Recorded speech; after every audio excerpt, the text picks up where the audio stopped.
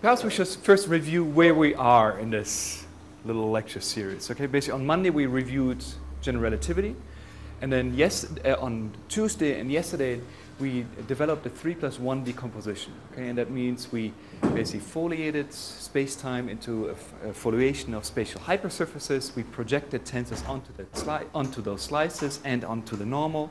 And then we decomposed Einstein's equations too.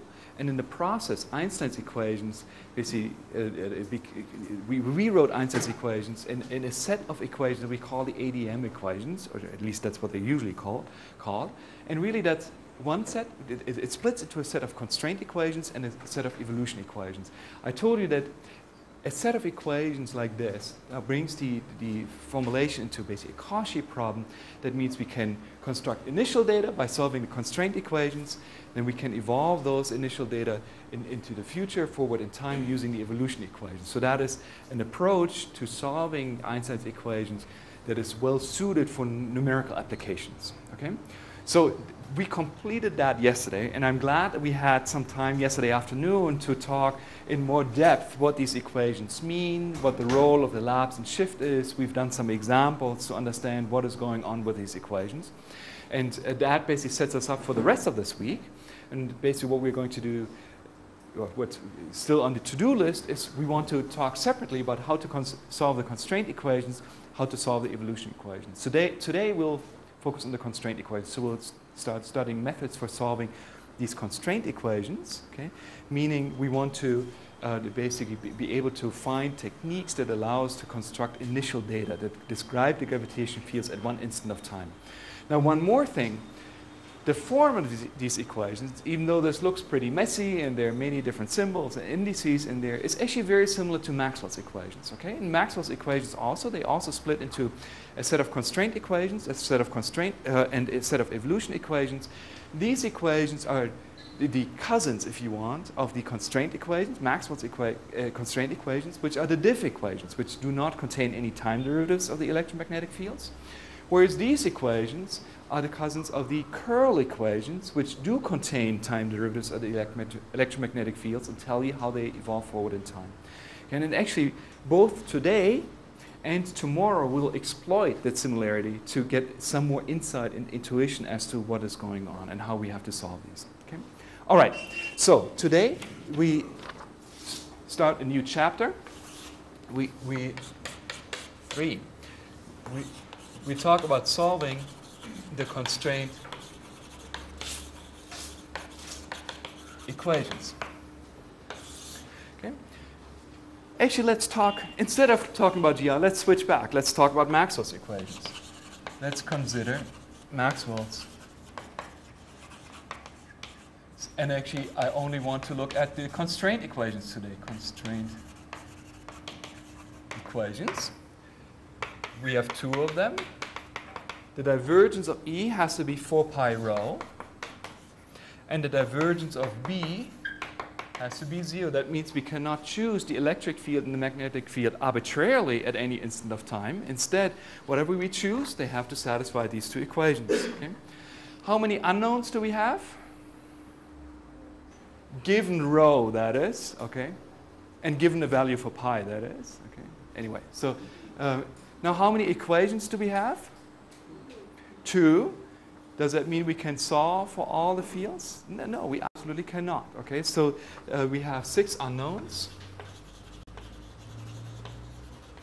and two equations. By the way, um, okay, uh, so that means the system is underdetermined. Okay, we cannot get, we cannot solve for all of the fields. What is the situation in GR? How many unknowns do we have in the constraint equations here?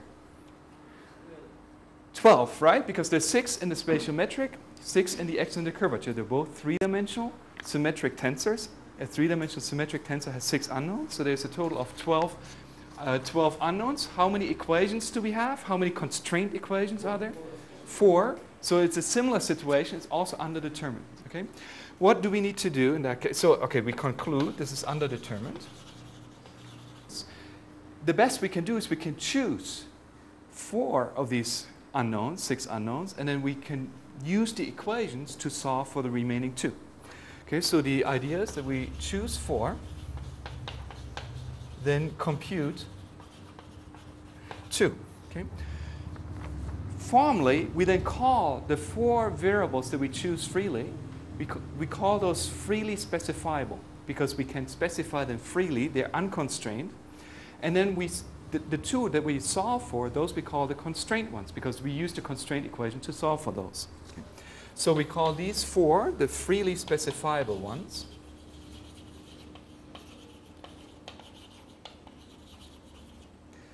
Specifiable, okay. And these two we call the constraints, constraint ones. Okay. Now here's a conceptual issue. You tell me which ones are which. Like EX, for example, is that constraint or freely specifiable? You have a question? No? Okay, sorry. Okay. So that you know that's not clear, of course. So the general procedure for solving these kind of problems then is we have to first decide, okay, we first have to separate our, all of our variables, and in this case all the six variables, into which ones will be freely specifiable and which ones will be, will, will be constrained. Then we make a choice for the freely specifiable ones, and then in the last step we solve for the constrained variables. Okay, so the general outline is this. We choose which variable is which, i.e. which variable is freely specifiable versus constrained. That procedure, that's what we, that's what we refer to as choosing a de decomposition.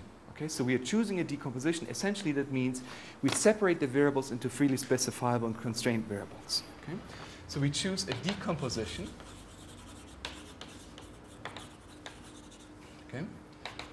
To separate the freely specifiable variables from the constrained variables. Okay. Then we make choices for the freely specifiable ones.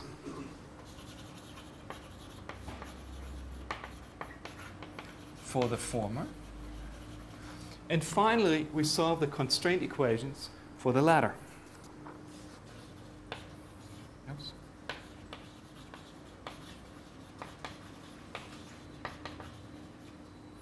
All right? So that's in essence what we do when we choose a particular decomposition of the constraint equations. All right? Now, the first technique in doing that is to basically, how do we do this for, for Einstein's equations? Okay, how do we get started with that? Well, very, one very common technique in doing that is the conformal, using a conformal decomposition or conformal transformation. Okay? And this is how it works. Conformal decompositions.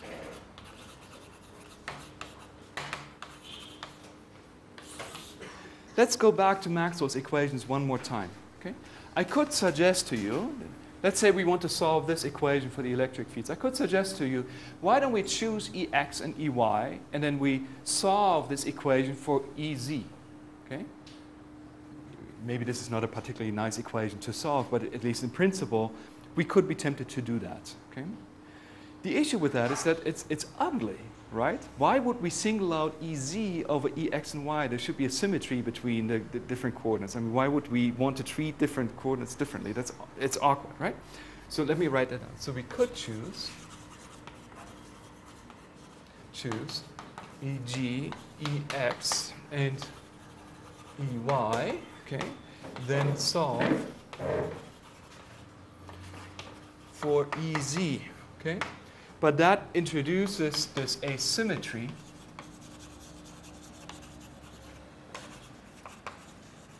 between the components, okay, which may offend our aesthetical you know, expectations for how to solve this problem, right? So here's an alternative. What we could instead do,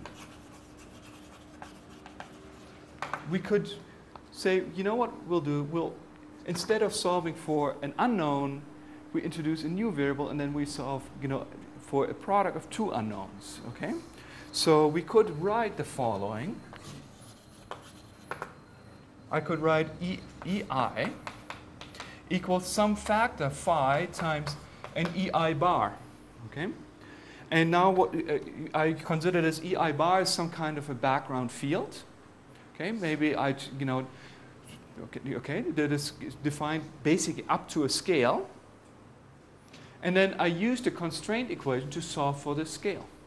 Okay, so I could choose what we call a background field.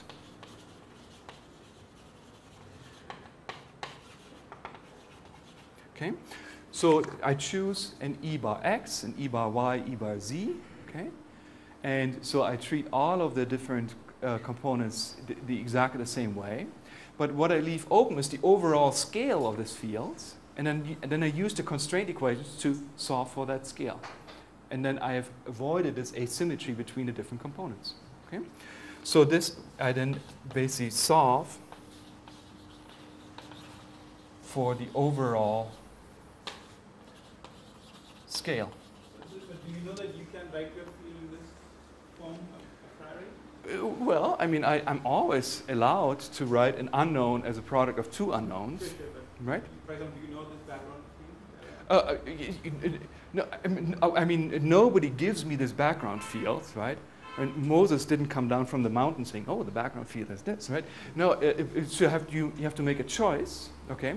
And then, given this choice, so in other words, what we've done now is we've said, okay, these e bars, those are now our freely specifiable variables. We choose those freely, and then we can solve for this overall factor, okay?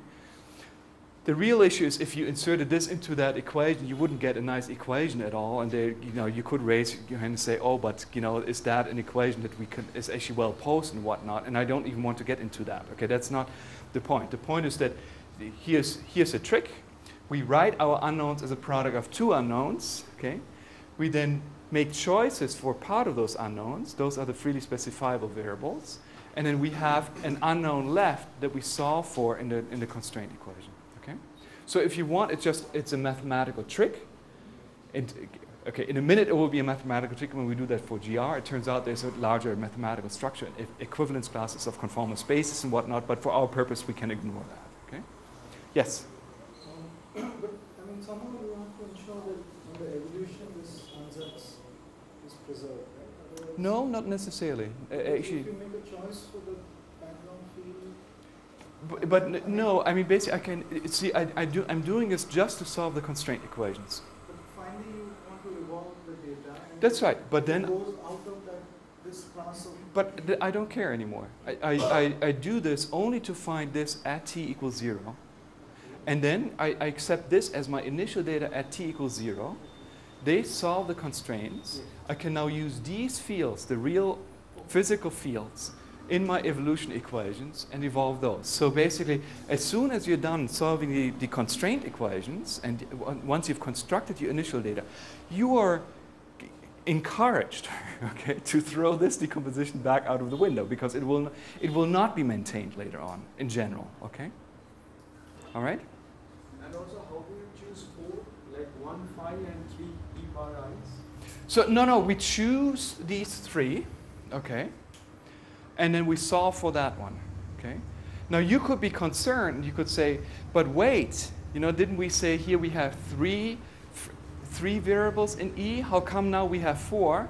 This looks like four, but really it's only three because the overall scale, i- i- i- it- we can factor out the overall scale of EI because it will be absorbed in this anyway. So, so you can think of this as you know, it, it matters only up to an overall scale because the overall scale is hidden in here. Okay? Now I think you had a question too. Can you always make this choice, or is there any condition under which you should make this? Okay, so this you should not take too seriously because this is just a little. I, I meant this as a little motivation at, at, at you know on the basis of Maxwell's equations. Okay, in a minute we'll If you take any general equation, I mean, this won't be true. Yes, but it, so in a, in a minute we'll do the same thing for GR, and then there are conditions for what choices we can make, okay? Because we want those choices to result in, in well-defined differential operators, okay? Yeah. Yes. Is this a scale uh, constant throughout, or does it, uh, is it coordinate dependent? Um, to what is is this coordinate dependent? Is is that what you? Is phi coordinate dependent? Um, I mean, it's part of the metric, right? Uh, You know what? Uh, Okay, tell you what. Let's move on. Let me, let me write down a few more things, and then you can ask the question again. Okay? Let's not overinterpret this. Okay? Uh, In a minute, we'll write, do the, exactly the same thing for Einstein's equation, and we're welcome to entertain all of these questions. Then they're well defined. Okay? Um, all right.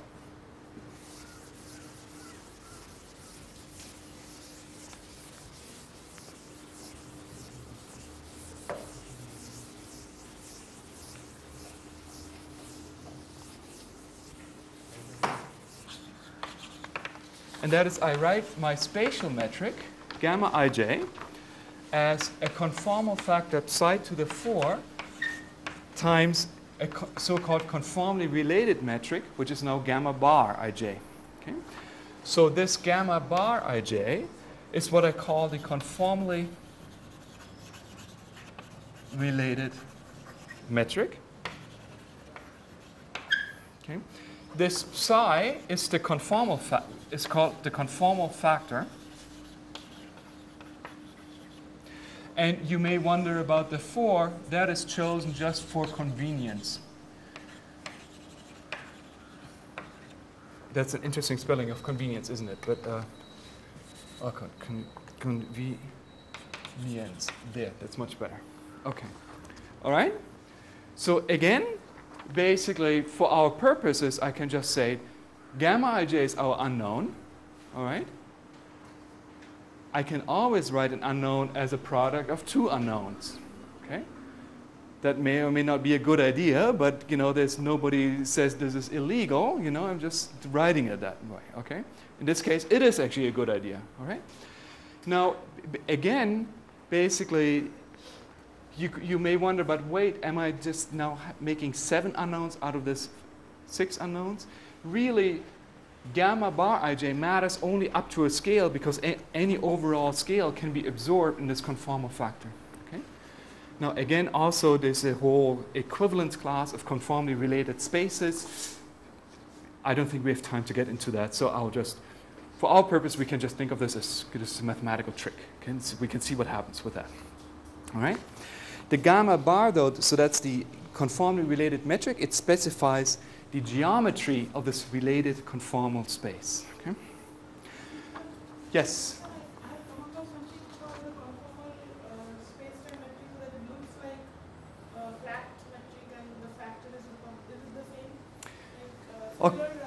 Okay, so it is almost the same. In a minute, actually, we'll, we'll see that we can use the, the gamma bar to absorb our freely specifiable variables, and we can make a free choice for that one, and then we can solve the Hamiltonian constraint for the conformal factor psi. Okay, so that means we could choose, for example, the conformally related space to be flat.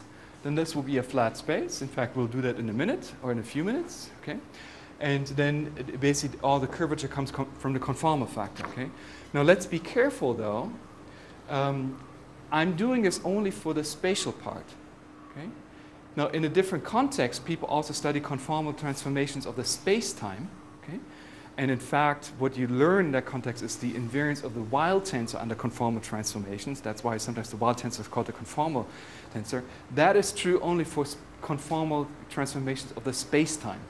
We're doing conformal transformations of only the spatial part here. Okay? Okay, so this is the metric. I also rescale the inverse metric with psi to the minus 4 gamma ij. And the reason you want to do that is so that gamma ij with bar with the indices upstairs is the inverse of this conformally related metric. And we can see that that's true just by doing a little piece of math. What is gamma ik, the, g- gamma factor? Well, in our physical space, I can write that as gamma ij jk, right? Everybody happy with that? If I got the indices right? Yes, I did. Okay. Now I can use my conformal rescaling to both of these metri- uh, metrics. Then I get psi to the minus 4 from the inverse one, gamma ij. I'm sorry, j. Then I get psi 4 for gamma bar jk. Now we notice that the two psi's cancel each other, and I only get gamma bar ij, gamma jk bar, and that means that these are now inverses of each other. Okay? So basically now we can raise and lower indices of conformally related objects with this conformally related um, uh, uh, metric. Now we want to actually, uh, in a minute, study the, this, uh, the curvature of these, these spaces, okay? Or we want to express things in terms of this conformal factor and the conformally related metric. The next object that comes, right, after we've introduced the metric is the, the connection, right? So basically just like in this outline that we do, did on Monday in GR, we started with the metric, and we wrote down the connection coefficients. We do the same thing here. Basically now we have gamma ijk. This is the Christoffel symbol that is associated with the spatial metric gamma ij. Now, how do we compute that? Well, it's basically derivatives of gamma ij. Now, I insert psi to the 4 gamma bar ij into that. Okay. Now I get two types of derivatives. I get derivatives of the gamma ij bars, and I get derivatives of psi, right? Now the derivatives of gamma ij bars I can collect, okay? And guess what? I'll get a new, they take the exact same form as a Christoffel symbol, and I write that as the Christoffel symbol that is associated with the conformally related metric. That gives me a gamma, gamma bar ijk. That is now the Christoffel symbol that is associated with gamma bar, okay? And then I get additional terms from the conformal factor. There are three of them, because there are three different derivatives, right? And the, I can write them as delta ij partial k log psi plus delta ik partial j log psi. And maybe I'll make some more room here.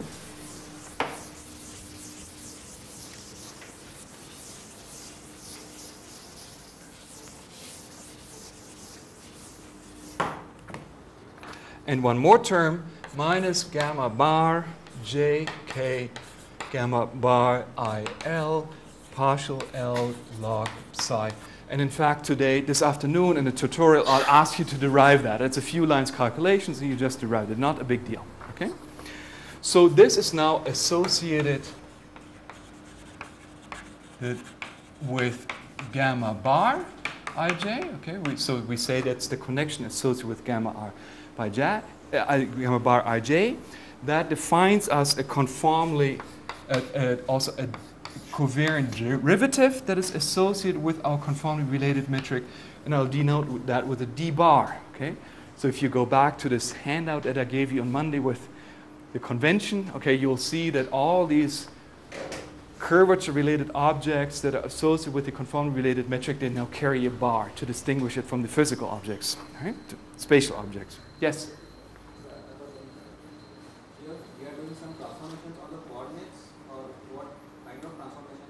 No, no, don't worry about the coordinates, okay? I, I, I mean, it's, it's often referred to as a transformation. Maybe the word, word rescaling would be more appropriate. So we're not changing the coordinates. At each point of fixed coordinates, I'm saying I'm writing the metric as a different metric times a scalar, okay? Or, or times, times a factor, okay? So think of it as a conformal rescaling if you want, okay? Okay, now what was the next object that we looked at when we went through GR? The Riemann tensor, I'll skip that one, we'll go right to the Ricci tensor, okay? It turns out that the Ricci tensor, you won't be surprised. I mean, look, this object divided into one object that is associated with gamma ij bar and additional derivatives of the conformal factor. The same thing is true for the, uh, for the Ricci tensor. We can write the Ricci tensor, our physical Ricci tensor, as an Rij bar, which is you compute exactly as you compute Rij, except you use gamma ij bar instead of gamma ij. Okay? And then we have an additional term, which sometimes you know we could write as Rij psi, and Rij psi is the object that you get from all the conformal factors. Okay, and actually I'll write it down for you. Okay, uh, there are four terms. Rij psi equals minus 2, and now we have a di bar, dj bar, log psi, plus gamma ij bar, gamma bar ln, dl dm log psi, and then we have two more, plus 4 di d bar log psi times um, d bar j log psi uh, minus gamma bar ij gamma bar lm times d l log psi d uh, m log psi. Okay? So just for your reference, you could, you could prove this by inserting these into the expression for the Ricci tensor, and a few hours later you would have it. Okay? Right? It's not, it's, there's nothing particularly difficult, it's just math and partial derivatives and whatnot, but by the end of the day you, get that. All right. What was the next object that we need? Well, we need the trace of R. Okay? Right? For example, in our Hamiltonian constraint, that's where we headed. Okay, so we now take the trace of this.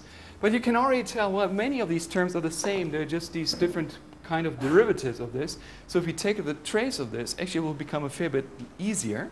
And in fact, the trace reduces to the following.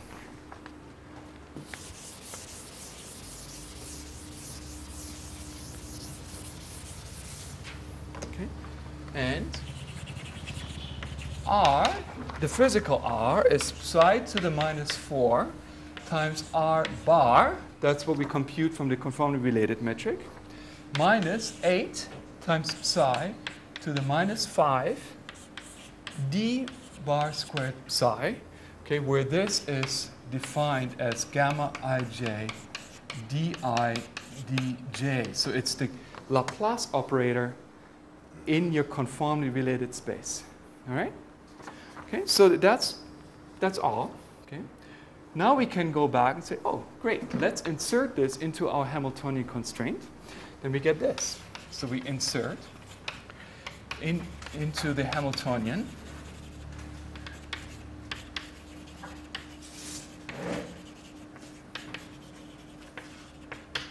Okay. d squared psi, as we insert, replace this, right? And I'll solve for that one. And so that means I'll insert this, then I'll divide by this factor so that I get this beautiful Laplace operator acting on psi.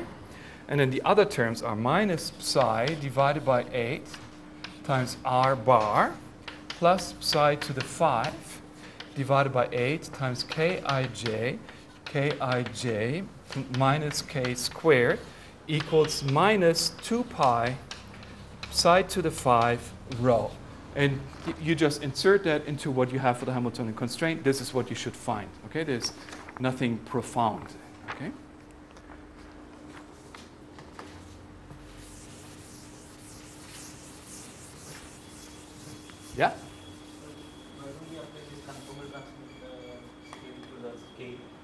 Sorry. to the Kij? Should we apply the transform? Yes, we, we will. So the question is, are we going to apply conformal rescaling of the extrinsic curvature too? And we, we will. We will do that, okay? But we're not quite there yet, okay? So th- that is really the next step because you realize that really we also need to solve the momentum constraint and probably a conformal rescaling will help that too, and it does, okay? But uh, we'll postpone that for 20 minutes or so. In the meantime, we, we'll look at this equation for it, okay? And we, we now realize what we can do is we can choose a conformally related metric, okay? We can, we can decide, okay, the conformally related metric, that will be our freely specifiable variable, or variables, okay? And if we do that, we can insert that in here. Where does that enter? Well, it enters, for example, in the, in the Ricci scalar that is associated with that metric. It also enters in these covariant derivative operators. Okay? But then we can solve this equation for psi. So this is nice, right? Because look, we started out with the Hamiltonian constraint in the form where I wouldn't even know how to start how to solve that, right? There's the Ricci, the Ricci scalar, but how do you choose? I mean, how do you? It's hard to figure out how, how do I choose a, a metric so that it gives me a certain form of the Ricci scalar that then satisfy the Hamilton, satisfies the Hamiltonian constraint. Whereas now we know exactly, well, we just need to solve, we, we, we pick the conformally related metric, and then we have a Poisson type equation to solve for psi. And if we, once we've solved that equation, we multiply the conformal related metric with that conformal factor to the fourth power, and we automatically have solved the Hamiltonian constraint. Okay, so now we've re reduced the problem to just solving a Poisson type equation. Okay, mind you, it's nonlinear. Okay, there, there are some issues, but but nevertheless, that is nice. Okay, so let me write this down. We can can do the following. We choose gamma bar ij as freely specifiable. Okay, that gives us r bar, and it also gives us the form of the covariant, uh, uh, covariant derivative because the Christoffel symbols that are associated with that. But then we can solve for psi. Okay. Of course, you are absolutely right. We also need to solve the constraint equations. Okay, and we will do that in a few minutes. But in the meantime, we could also say, well, why don't we look at initial data for which the extrinsic curvature is zero? Okay.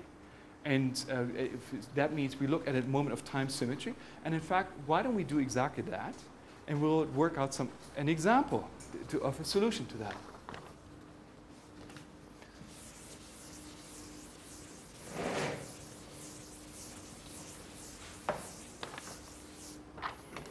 Okay. So, elementary solutions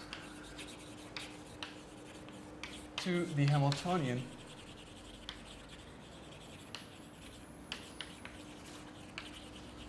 constraint.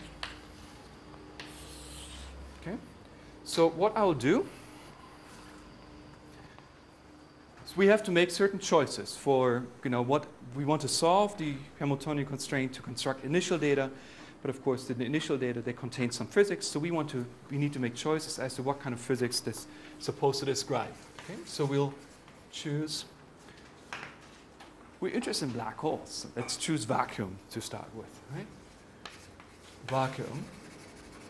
So that means, so to get black hole solutions, so I'll choose rho equals zero and also Si equals zero, okay, which appears in a, in a momentum constraint. Then I'll choose time symmetry.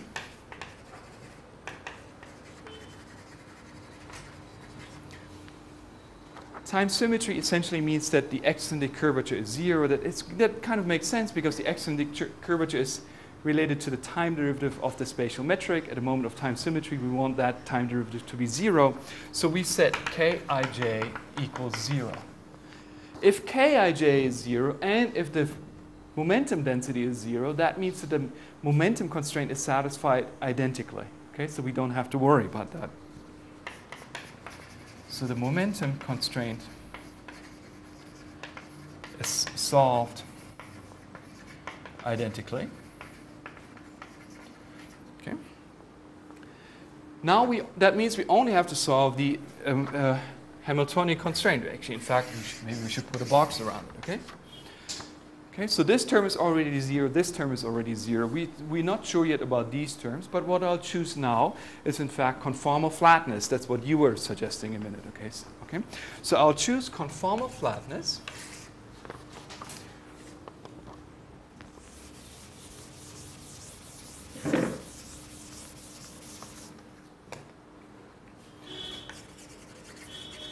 Conformal flatness.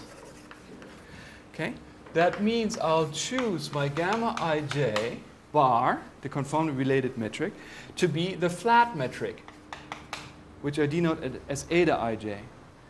Now, remember in my notation, eta ij is not 111 necessarily because it is 111 only in Cartesian coordinates, but maybe we're solving this in, in spherical polar coordinates. So this is the flat metric, this eta denotes the flat metric in any coordinate system that you may want to choose. Okay? Now, if this is true, what is r bar? It's zero because this is a flat metric, so the Ricci tensor will be zero, right? So this implies that r bar is zero, right? What is, uh, what is this covariant derivative operator, d, di bar? What is that?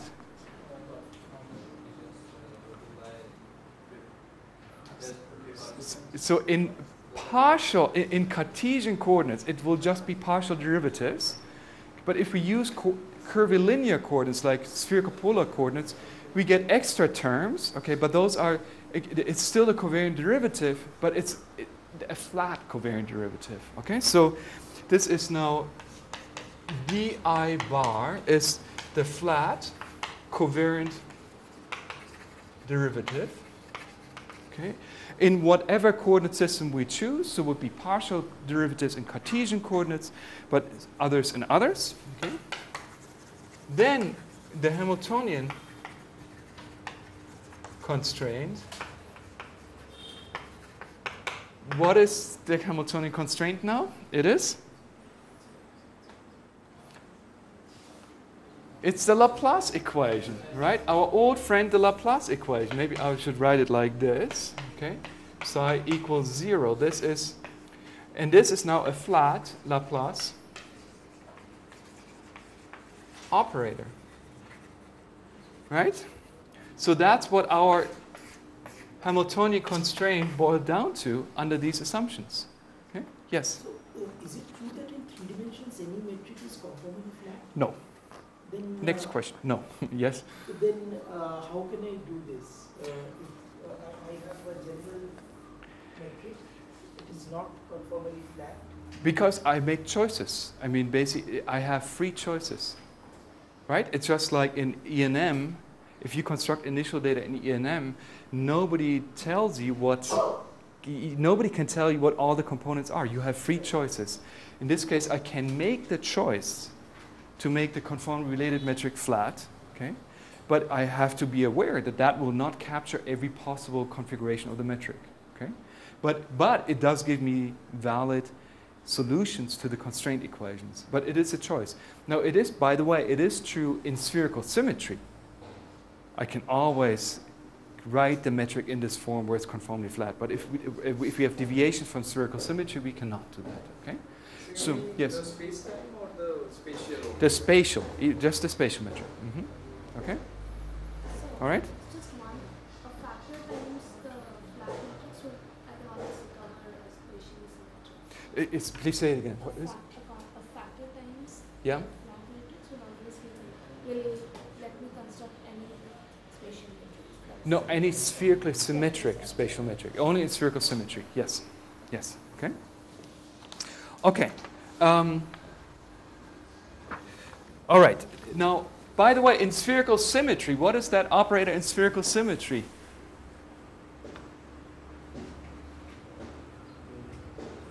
When have you seen that operator in spherical symmetry the last time?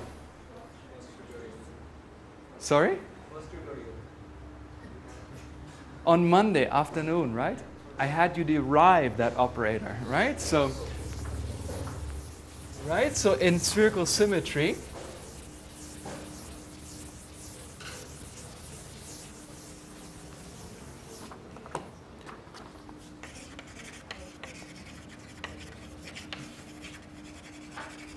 Actually, that's wrong what I just told you. I had you derive it in spherical polar coordinates, right? But then if we apply spherical symmetry, we can even set the theta and phi derivatives to zero.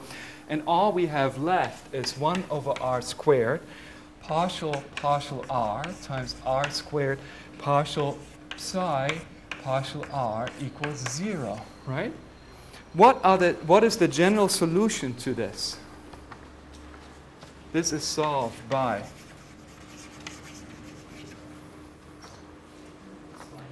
How many independent solutions do I get to this? Two, right? Because it's a second order operator, so I get two independent, uh, independent solutions. Do we agree that a constant is one of them? Because a constant partial r is, gives me zero, right? And then I can do whatever I want to it, and it's still zero, okay? So I certainly have a constant. What is the other term that I can get? It's yes, or a constant plus b divided by r because taking the derivative with r gives me 1 over r squared. You multiply with r squared, gets a constant, and then it's 0, right? So this is the general solution, okay? Now, so these are constants, which a priori I don't know yet, okay? But I can, for example, pick a solution by choosing a equals 1 because in that case, as I go to large r, as I go to infinity, I'll discover, I'll get the Minkowski metric back. Okay, so this gives me asymptotically Minkowski. Okay. Also, if we measured the mass of this resulting solution, we would find that uh, um, B choose and and and we write B equals M divided by 2. Okay? So basically, where M is the mass. That, that we can only do if we know how to measure the mass of the space, which we'll skip over for now. But in fact, we can identify this. Okay? And then what we get is that psi equals 1 plus M divided by 2R, is it not? Have we ever seen that before? This is a triumph right? Because we just derived the spatial metric for Schwarzschild in isotropic coordinates. Okay? We should be very happy about this. We went through this whole, whole formalism, and here it is. Okay? So this is an old friend of ours. It's always fun to meet old friends, uh, old friends again. Okay? All right? Now, of course, the skeptical among you could ask the following: Are we crazy? We derived this on day one directly from Schwarzschild. Why did we have to spend painful hours going through the 3 plus 1 formalism, through conformal transformations, rescaling, who knows what, only to discover something that we already knew all along? Okay? So, what is this formalism good for anyway? Right? Well, here's something neat. Notice something. Einstein's equations are nonlinear, correct? How about this equation? It is linear. So what can you do when you have a linear equation? You can add solutions. So if we have a solution for one black hole, we also have a solution for for two black holes, right? And if we have a solution for two black, we also have why stop at two, three? We could now we can superimpose these solutions, however many we want, and we can construct initial data for your favorite number of black holes, something you've always wanted to do.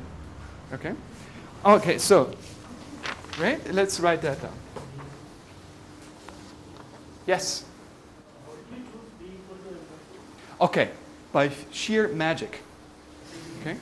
No, basically, I notice if I, I choose A equals 1 because I want it to be Minkowski asymptotically, that gives me a solution. And if, if, I, no, if I now shared a secret with you, and that is how do we compute the mass of the resulting space, then we would find out that the mass is 2 times b.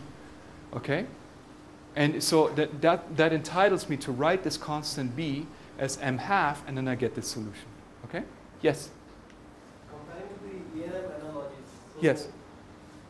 The, the class that we get is the same in ERM when we have source free and then we choose some uh, electrostatic potential and we have some. So is it just the same way that we have choose some sort of a potential like psi and then we are finding You know, I, I'm not, I, I don't think I quite understood your question. Is so it, the, yeah? the psi that we get Yes? equivalent to electrostatic potential. Um, I'm sure you can make some connection, but it's not quite that direct. Okay? So I'm not sure that, that analogy is helpful in this context. Okay? Okay. We superpose. uh, This spherical symmetry, right? So it's some preferred center and we have some. True. So now we get away from spherical symmetry. Absolutely. Yes. A- absolutely. Y- yes. We will break circle symmetry, but b- basically, y- y- it's still a valid solution. Right. Yes. Um,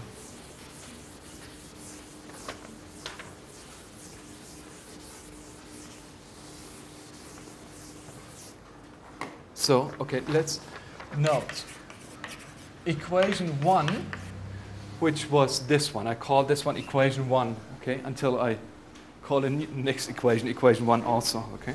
No, actually, I called this one 2. Okay, great. Okay, so, but note, 1 is linear. So, so I can add solutions of the form 2 to construct multiple black hole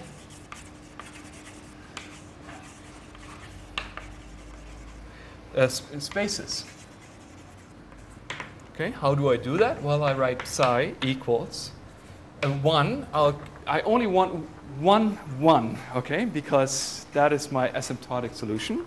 But now I can add several of these other terms. So, for example, I could label them by alpha and then an m alpha divided by 2 r alpha, okay, where r alpha measures the distance of any coordinate location to any one of the centers of these black holes. Okay? Now, if we drew an embedding diagram of this solution, we would get this, fun, fun, uh, this funny uh, uh, picture, this wormhole picture that looks like this. You've probably seen that in somewhere, right? Basically, it's a wormhole that connects two slices. By the way, that's um, to motivate this. I also asked you on Monday to figure out this, what does this isotropic radius do? And you notice that it only covers the exterior of the black hole, but because it was this quadratic equation, it, it covers the exterior of the black hole twice. You get two isotropic radii. Well, there's, here's one, here's the other, other solution for R. Okay, so this is the image, the, the embedding diagram that you get for this solution. Now, if we add multiple of these, then you get an image that looks like something like this. So for two black holes, you might have one black hole that connects to one other universe and then another one that looks like this and connects to, an, to another one, okay? Something like that, okay? Now we could do all kinds of things. We could symmetrize these. We could use inverse mass uh, techniques to symmetrize these, but we won't get into that. Uh, people have done a lot of work on that, okay? Also, as a reminder, how, how, why is it that we cannot get these by solving Einstein's equations. Why did you not learn about these solutions when you took a general relativity course? At least I'm, I'm making an assumption here, but okay. But well, of course, these are solutions only at t equals zero. Remember, we only solve the constraint equations. These are only valid at one instant of time. As soon as we let these black holes go, the solution will become a lot more complicated. if this is a moment of time symmetry, for example, these two black holes will start accelerating towards each other. It's a dynamical solution. It's a lot more complicated, nonlinear, who knows what. Okay? So that, to find that out, we have to solve the evolution equations. I suggest we take a really short break now, and then after the break, we'll talk about what we do with the extrinsic curvature so that we can solve the momentum constraints. Okay? All right you make choices for some parts of the electromagnetic fields when you solve the diff equations, you make choices on is there an electromagnetic wave or not, okay? Likewise, basically our choice for the conformally related metric will affect the, the physical uh, uh, uh, uh, the physical content of the initial data that you end up with, okay? Right? Does that clarify some of that? Okay. Now, uh, basically, is it true that I can that any spatial metric is conformally flat, i.e. Can, I can write it as a conformal factor times the, conform, uh, times the flat metric?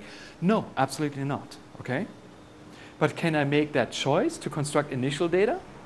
I can do that, but of course that already automatically results in a certain physical content of the initial data that I've fixed by this conformal flatness, which may or may not be a good choice. That's a separate question, okay? I, am just claiming it gives me a solution. Okay? Is that the solution that I want? That's a separate question. Okay? All right? Yes? One was you just had a flat metric with, with one asymptotic Yes. Mm-hmm. So I got a bit confused with even with the single black hole case. Yeah. You just do the other thing in my hand or, or when you when you have these two Yes? even for the single black hole case, Yes. you Mm. Do this uh, this bridge. Yes? But is that part of the, the way you set up the initial data, there seemed to be only one flat metric, and so only one asymptotic. Right. So, so are you just looking at one, or? Okay, w- it, it- so basically, I mean, the, the solution. the single black Right. For the, so what I get is my metric is psi to the 4 times gamma ij, right? And psi for a single black hole is now 1 uh, plus m divided by 2r, right? And now it, it, it, this is what happens. Okay, you, you're, you're asking basically, if I understand you correctly, how can this be? I start with gamma ij bar, which is just flat. It's just one sheet. And not only it's one sheet, it's flat, okay? So how come I now end up with two of those sheets, okay? So well, what happens is this, this psi gives me the overall scale, okay? The physical state. So at each value of r, that tells me basically about how much proper distances are inflated, right? Basically, proper distance becomes larger by this psi. Go to r equals zero, and you notice that now this term diverges, it, it- it- right? Okay, so as I move just a tiny bit around at r equals zero, all of a sudden I, I get infinite proper distances, okay? What you can imagine is you take one point in this flat, uh, flat uh, space, okay? But now you multiply it, multiply it with a diverging conformal factor that blow, takes this one point and it blows it up to infinity, okay? So that's how you get the second sphere. So the second sheet really corresponds to just a single point in this manifold up here. Oh. So, so, it's, so, so it's not the singularity, it's actually, it, it just gives you the. That's a, it gives you, i- i- interestingly, R equal to zero is not the. that's r equals zero, okay? It's actually a flat point. It's, it's the infinity of the other sheet, okay? It's basically in the, in, uh, in the Penrose diagram, okay? Basically, our solution is this, this hypersurface. It goes from one spatial infinity to the other spatial infinity. This corresponds to little r little r equals infinity. This corresponds to little, little r equals zero. This corresponds to little r equals m half, okay? And in fact, there's an is- isometry between any point here to any point there. It's, there's a symmetry, right? I can identify points. All right? The second question was uh, in the context of these multi-black hole things. How, how, why do you actually say that they are black holes? And, like, you can find distinct apparent horizons? Or or Exactly right. It- it- so I'm glad you're asking that because I've kind of swept that question under the rug. I just told you, oh, look, there's, there's black holes, right? How do I know that? Right? I would have to establish that there are horizons, okay? And it, for the single black hole, it's actually reasonably easy to show that, in fact, there is a horizon at, at MR, M half, okay, which corresponds to this point. For multiple black holes, you actually have to figure out where is the horizon. It will not be exactly at that point because it will also be affected by the other black holes, okay? But you're absolutely right. You, you have to basically find out where are horizons. You have to locate those, and that establishes that indeed there is a black hole. Yes. And then physically, uh, you would not, you would be only interested in one infinity, right? I mean, I, I don't know when you're doing the numerical equation and so on, because That's right. That's right. You say basically, let's say this one is our universe, and now basically they're black holes, they have horizons. Really, what's inside the horizon is a separate question. But now these black holes move around, they emit gravitational waves. This, these waves propagate to our infinity. That's what we want to observe. That's, that's something physical that we can measure, or so we hope. right? And in principle, you could not say, I mean, it could be that, I mean, this is like, uh, this is the initial data picture which you have. In principle, you don't know, so, so the idea is that you're looking essentially at the exteriors of these black holes away from you know, any singularity, etc. Now you let this system go, uh, it, it- could be actually that, you know, there's collapse to some singularity in the future or, whatever, you don't Sure, know, right? You sure, don't mhm. Yep. Thanks. Okay. Anything else? Then what we should do is talk about the conformal transformation of the extrinsic curvature. Okay, so uh, to talk about how can we solve the momentum constraint. So far, we've only talked about the Hamiltonian constraint, and we've made our lives easy by choosing a Kij equal being zero, time symmetry. Okay, so how can we generalize that?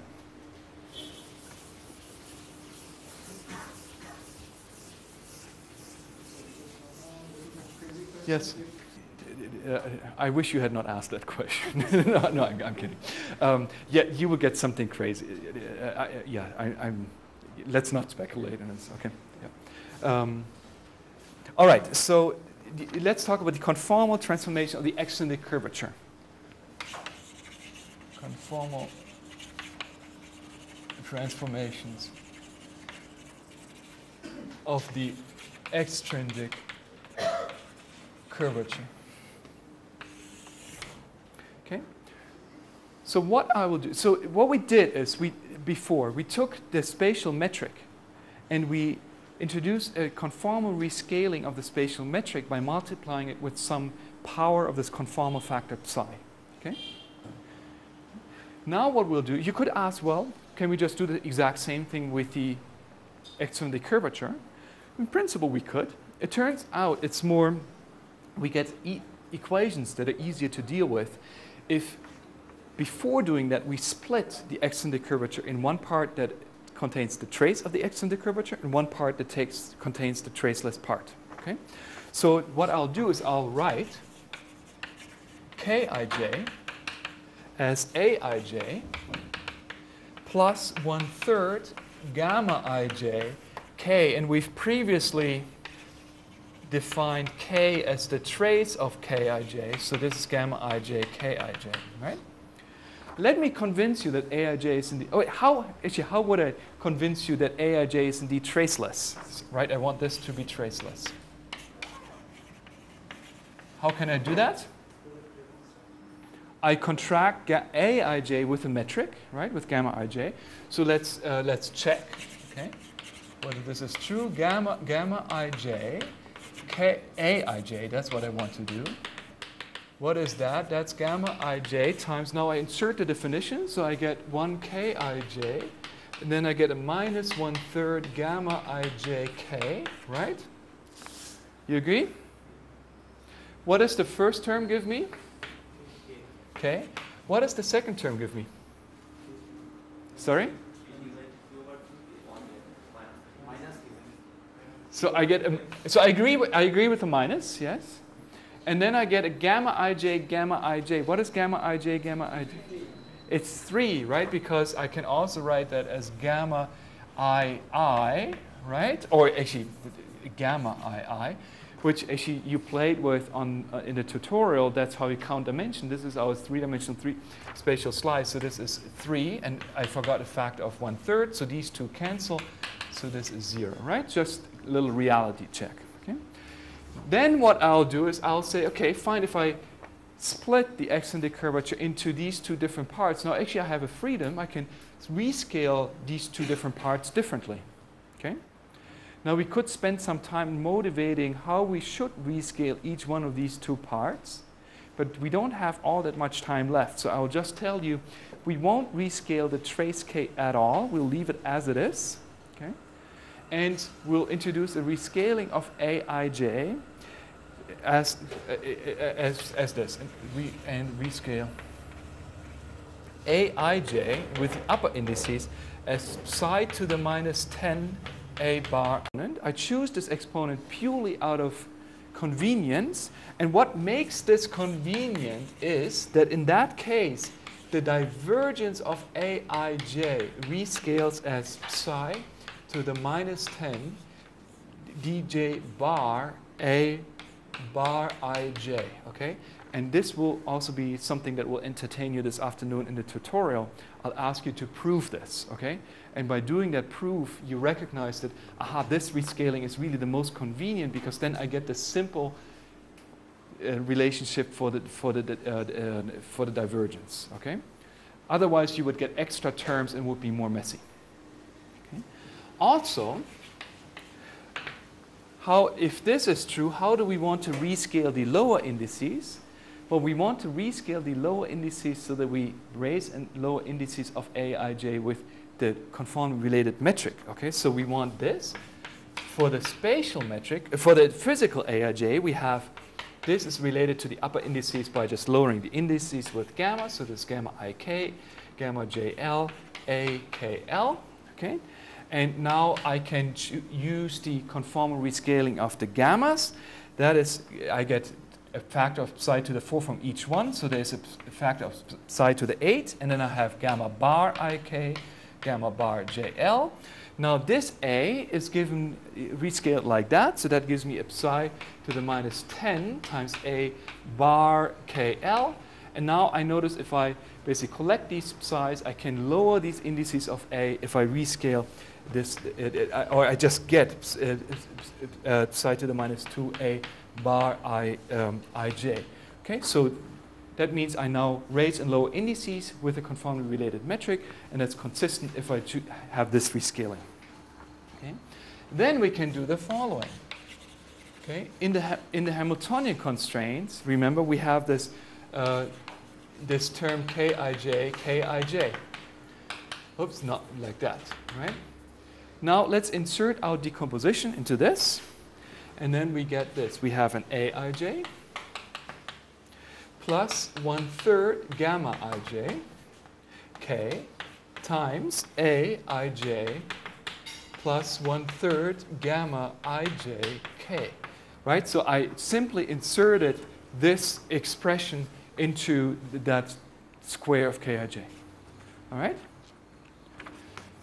Now, what do we get from that? Well, the first term is just this contraction of aij. Okay? Then we get mixed terms, right? We get, for example, this term times that term. Do we get that one? No. Why is it zero? Because I'm taking the trace of aij. So i- i- lovely, okay, no mixed terms. So the only term left then is this one, right? And what is that term? That will be? Okay, so I heard a one third, and is that, is that what I heard? Or one ninth? One third, okay. The general mumbling makes it pretty uh, safe to say something. Uh, anyway, right? So why is it one third instead of one ninth? Because we also have this contraction of the metric that gives a factor of three, right? Now we can insert our conformal rescaling, and that gives me a psi. I get a psi to the minus 2 from one, psi to the minus 10 from the other. So this is a psi to the minus 12. aij bar aij bar plus one third k squared. Okay? And this I can now insert into the Hamiltonian constraint.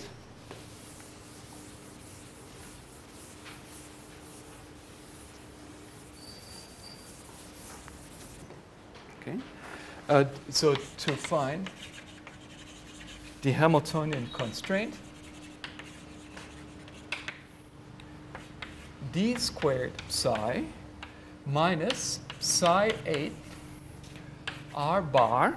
This is the same as before, but now we'll insert that expression for the extrinsic curvatures.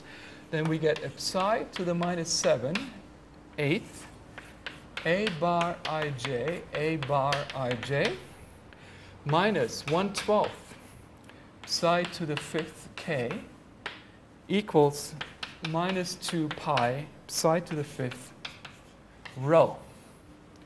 Okay, there we go. That's our Hamiltonian constraint. Okay, so so far this hasn't really helped us all that much because we still don't know yet what these AIJs are. Okay, but the important point is that we can now deal with the momentum constraint. Let's see what we get for the momentum constraint. The key term in the momentum constraint is um, the um, divergence of Kij, okay, which is dj Kij. And now we again insert first our decomposition of Kij into a, a trace free part and a, and a trace. That gives me the following. I have a dj Aij plus one third gamma ij djk. Okay. Why do I not- get a term of the covariant derivative of gamma ij? Because they're compatible with each other, right? That, that is zero. I only get a term from that one. Now, this is the term for which we needed this funky rescaling of aij. Okay, this is the term for which we chose this rescaling of te- uh, uh, minus 10. So that means so that so that we can write this as psi to the minus 10 dj aij plus one third psi to the minus fourth, and now I'll write this as gamma bar ij djk. Am I allowed to put a bar on this d, by the way?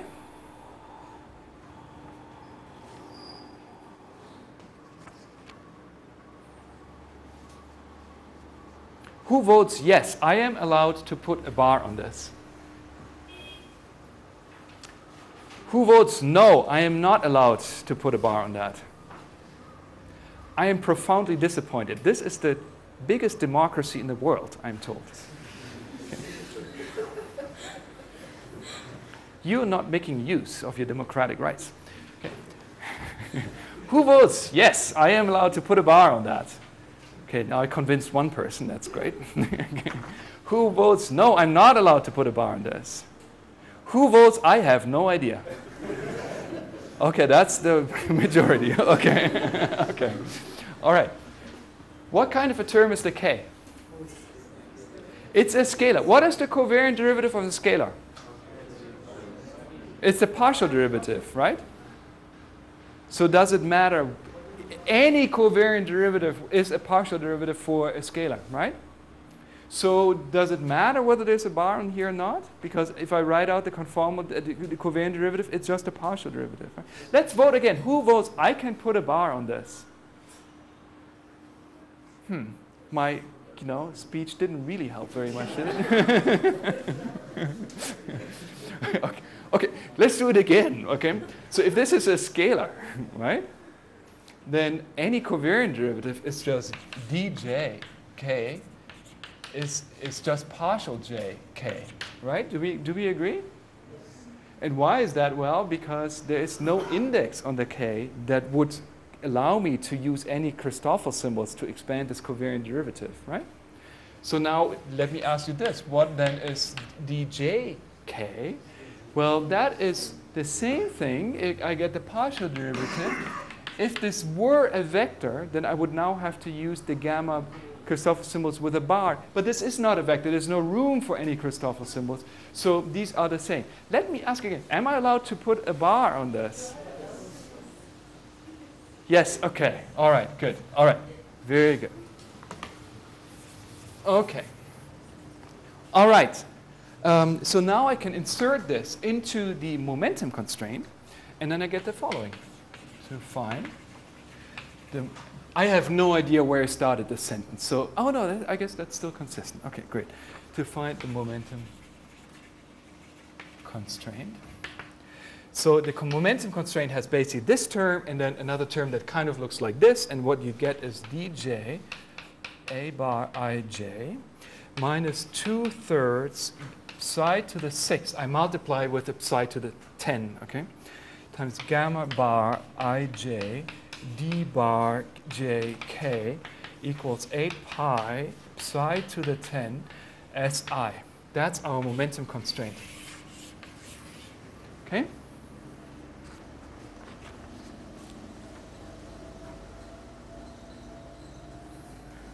And now you should ask,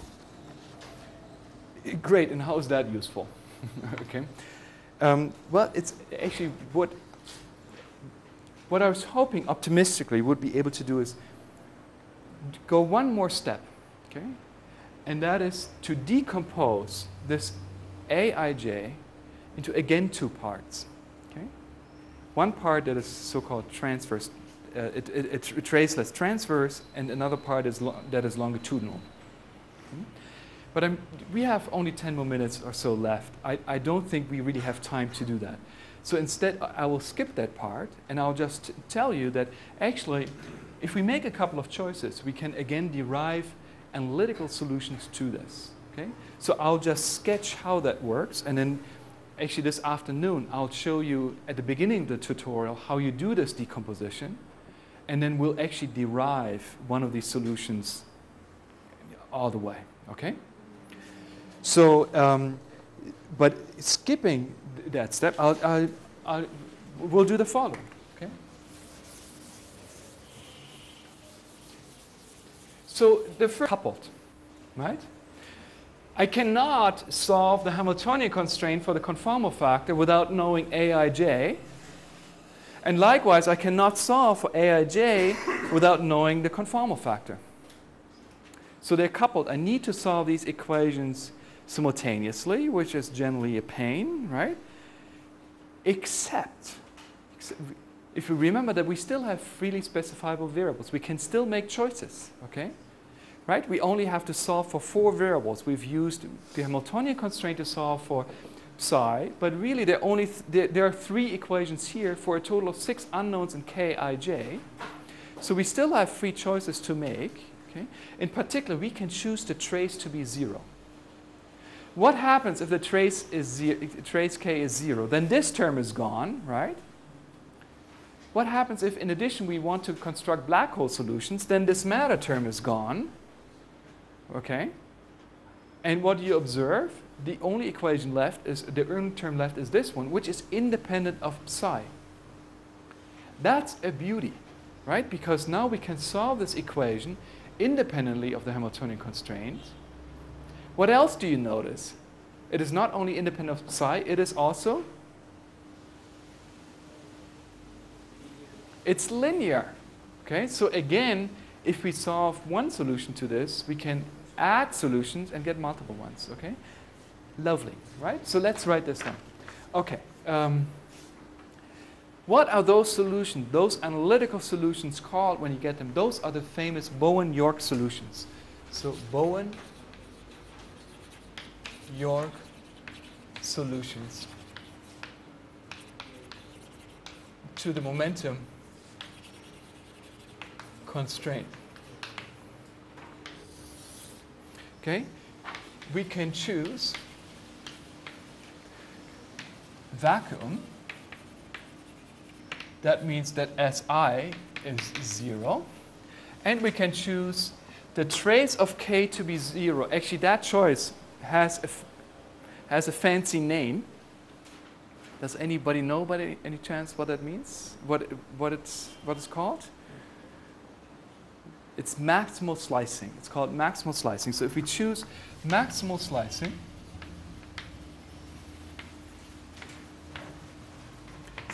that is k equals 0. Okay? Okay. Why is this called maximal slicing? I- imagine you have some, some wire loop of some form, okay? Any shape. And now imagine you have a soap film that is spanned by this wire loop. Do you, do you, can you imagine what I, what I mean? Is, and maybe you- you know you give it to kids and you blow through and you make these bubbles, whatnot, right? So imagine we have some loop, we have a soap film. Let's ignore gravity. Then what what what force determines the, the shape of that soap film? It's only surface tension. The surface tension will do what? It will make the surface minimal, right? So, it, so basically, the surface tension will ensure that the soap film has the smallest surface possible. And in fact, the smallest surface possible corresponds to, it turns out that the, the, the curvature being, the, the trace of the curvature being zero. You could actually show that, okay? So that will be a so-called minimal surface, okay? But it's, it's a minimal surface because that's in, in, in, Euclidean space. If we do this in a Riemannian space, then it turns out the same condition. Really, the condition just tells you that it, it, it gives you a maximum of the, an extremum of the surface. Takes out, turns out it's a minimum in Euclidean space. It's a maximum in Riemannian space. That's why this is maximum slicing. So basically, these are the surfaces that maximize the spatial volume, basically. Okay? Under these conditions, the momentum constraint reduces to dj aij equals zero, okay? And the beautiful thing about that is that this equation is now linear. That means we can actually solve it, okay? And also, once we have one solution, we can add as many of them as we want. And the other reason, or the, the other reason why we can solve it is because it decouples from the Hamiltonian constraint, okay? So it's decoupled from the Hamiltonian constraint. Okay? And then uh, we can, if we further assume conformal flatness, meaning that this is just a flat differential operator, okay? So assuming conformal flatness, we can then derive uh, analytical solutions.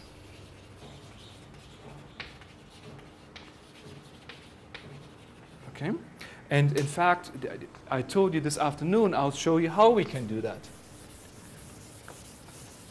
But in the meantime, just to wrap up this morning's lecture, I'll write down two of those solutions, which are very important. They're very well known, they're used a, a lot. There's one solution, A, okay, that describes a black hole that is spinning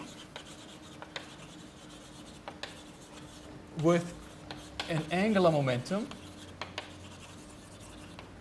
jk, okay, and that solution is given by aij equals 6 divided by r cubed, uh, li, symmetric part, epsilon bar, j, kl, and then we have a jk, ll, where this li it just is xi divided by r, and r is just x squared. r squared is x squared plus y squared plus z squared, if, if you want. Okay, so in, in Cartesian coordinates. Okay? All right, so this is this L is just like a normal vector that points away from the point at which my black hole sits. The black hole sits at r equals zero. Okay? L is a normal vector at each point that points away from that point. Then uh, this epsilon is our antisymmetric symbol, the antisymmetric uh, tensor rather. Okay, so, so basically th- th- that uh, it's just the epsilon ij. I decorate it with a bar so that the covariant derivative with respect to bar goes away. So it's the epsilon that really lives in this conformally related space. And then jk is, is the angular momentum. So this solution describes a spinning black hole. Okay? And um, we also have a solution for a boosted black hole.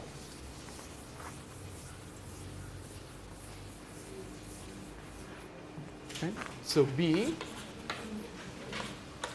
black hole boosted with a linear momentum, pi, okay, which is a ij. So something, did I do something wrong or something unclear? Okay, yes.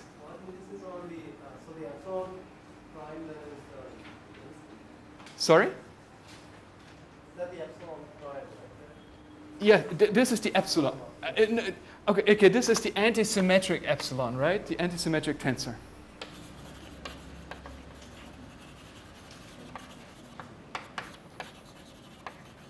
This is not the epsilon plus minus 1 anymore, right? Yeah. Okay, and the boosted uh, black hole is Aij equals 3 divided by 2r squared times pi lj plus pj li minus gamma bar ij minus li lj lk pk. Okay? All right? Look, I, I have not given you any chance to understand why this is. I did not derive this. Okay? I'm just reporting to you these are solutions to this equation. Okay? And this one we will actually derive this afternoon. Okay? There's, there's a trick how you can do that. All right? And, but the, bas- if you could check, yes. Sorry, what is? What does it AIJ physically represent? By looking Okay, yes, okay. So this physics, what this means, it's the extrinsic curvature that you would get from a rotating black hole. So this describes the extrinsic curvature that describes a black hole that sits at a point r equals zero and it has a spin jk. Okay. Likewise, this describes the extrinsic curvature that describes uh, of a black hole that sits at a point r equals zero and it has a momentum p. Okay? Right?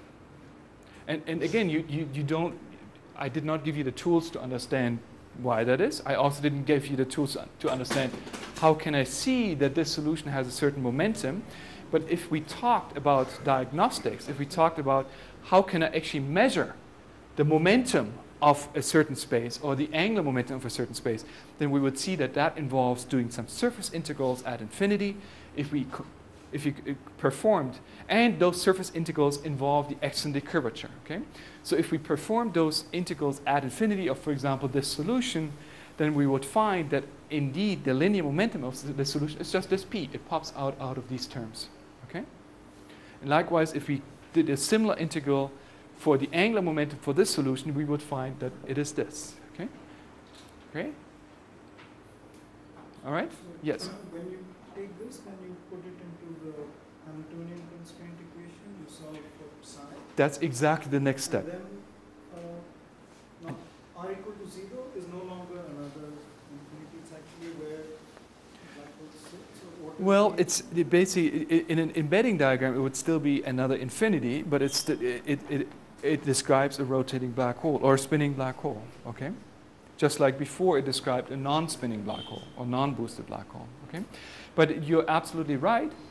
These are now solutions only to the momentum constraint. We're not done yet, right? To complete the construction of initial data, we need solutions to both the momentum constraint and the Hamiltonian constraint.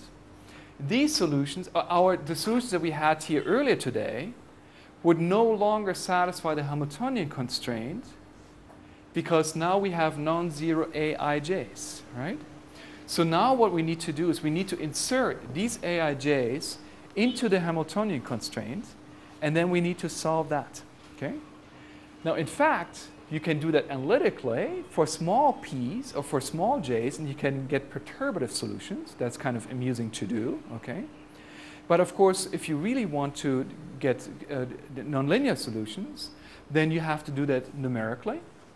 And in fact, that's what you will do next week when you learn about solving elliptic equations.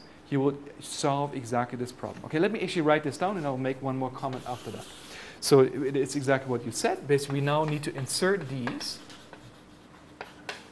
into the Hamiltonian constraint.